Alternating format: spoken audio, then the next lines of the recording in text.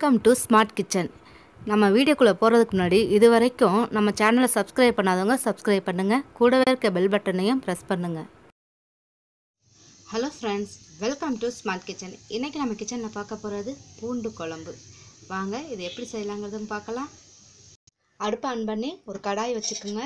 இதில் நான் ஒரு நாலு ஸ்பூன் அளவுக்கு நல்லெண்ணெய் ஆட் பண்ணிக்கிறேன். பூண்டு குழம்புக்கு நல்லெண்ணெய் ஆட் பண்ணுறது ரொம்பவும் நல்லாயிருக்கும்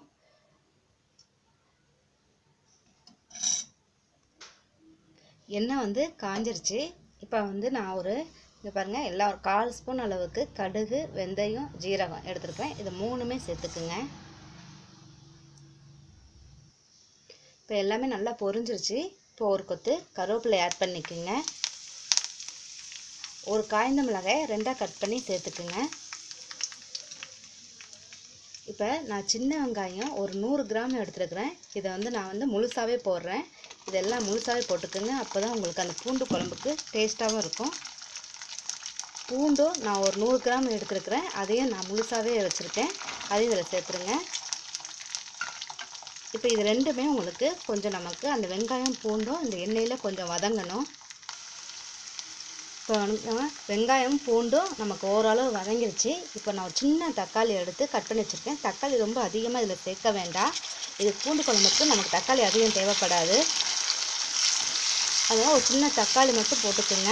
இந்த தக்காளியும் வெங்காயம் இது எல்லாமே சேர்ந்து இதோட கொஞ்சம் வதங்கட்டும் நமக்கு. இப்போ நமக்கு தக்காளியும் ஓரளவு வதங்கிருச்சு. இப்போ நம்ம இதில் மசாலாலாம் சேர்த்துடலாம். பாருங்க. ஒரு கால் ஸ்பூன் அளவுக்கு மஞ்சத்தூள் சேர்த்துக்குங்க. ஒன்றரை ஸ்பூன் அளவுக்கு மல்லித்தூள் சேர்த்துக்குங்க. ஒரு ஸ்பூன் அளவுக்கு மிளகாய்த்தூள் ஆட் பண்ணிக்கிறேன். இப்போ நம்ம காரத்துக்கு ஏற்ற மாதிரி நீங்கள் மிளகாய்த்தூள் வந்து கூடுதலாக குறைச்சி ஆட் பண்ணிக்கோங்க. இப்போ இதெல்லாம் வந்து ரொம்ப வதங்க தேவையில்ல. சும்மா எண்ணெயில் ஒரு வதக்கு வதக்கினா போதும்.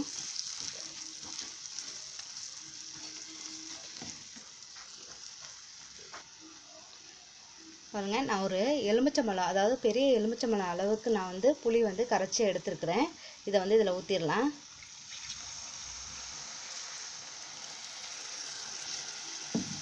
பூண்டானை வந்து கொஞ்சம் நமக்கு திக்காக தான் இருக்கணும். ஏன்னா அப்போ தான் உங்களுக்கு நல்ல ஒரு டேஸ்ட் இருக்கும் அது.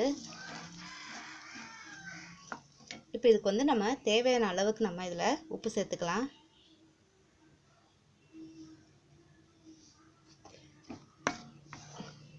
உப்பு சேர்த்துட்டு நீங்கள் வந்து கொஞ்சம் அடுப்பை வந்து நார்மல் ஃப்ளேம்லேயே வச்சுக்கோங்க.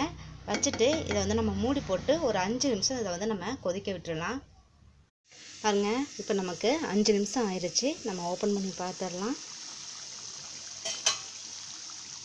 பாருங்கள் இப்போ நமக்கு நல்லாவே உங்களுக்கு வெங்காயம் இந்த பூண்டு இது எல்லாமே நல்லா வந்து வெந்திருக்கு. இப்போ கடைசியாக நம்ம வந்து ஒரு துண்டு அளவுக்கு அதாவது இந்த அளவுக்கு நம்ம வெல்லம் யூஸ் பண்ணிப்போம். வெல்லம் போடுறதுனால உங்களுக்கு அந்த குழம்போடைய சுவை வந்து இன்னும் வந்து அதிகரித்து தான் கொடுக்கும். ரொம்ப டேஸ்ட்டாக இருக்கும். அந்த புளிப்பு இனிப்பு எல்லாமே கலந்த ஒரு சுவையாக இருக்கும் உங்களுக்கு. இதை போட்டுட்டு ஒரு நிமிஷம் மட்டும் வச்சுட்டு நம்ம அடுப்பு ஆஃப் பண்ணிடலாம். இப்போ நமக்கு ஒரு நிமிஷம் ஆயிடுச்சு இதை ஓப்பன் பண்ணி பார்த்துடலாம் பாருங்கள் சூப்பரான ஒரு சுவையான அப்படியே நாக்கில் வச்சிங்கன்னா எச்சு வரும் அந்த அளவுக்கு உங்களுக்கு சுவையாக இருக்கும் இது. பூண்டு குழம்பு ரொம்ப அருமையாக இருக்கும். இது சாதத்தோடு வச்சு சாப்பிட்றதுக்கு ரொம்பவும் டேஸ்ட்டாகவும் சூப்பராகவும் இருக்குங்க. கண்டிப்பாக நீங்கள் ட்ரை பண்ணி பாருங்கள் உங்களுக்கு பிடிச்சிருந்தா லைக் பண்ணுங்கள் ஷேர் பண்ணுங்கள் மறக்காமல் சப்ஸ்கிரைப் பண்ணுங்கள் தேங்க்யூ வியூவர்ஸ்